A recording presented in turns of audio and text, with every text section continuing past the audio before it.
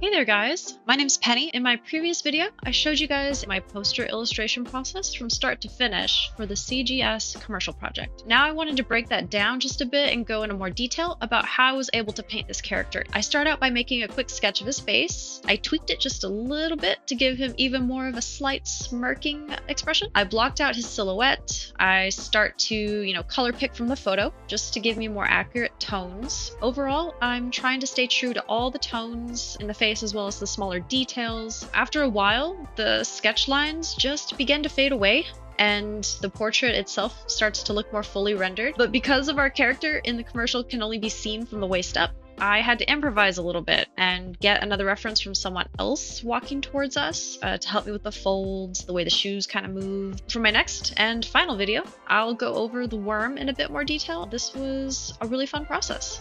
Thank you so much for watching.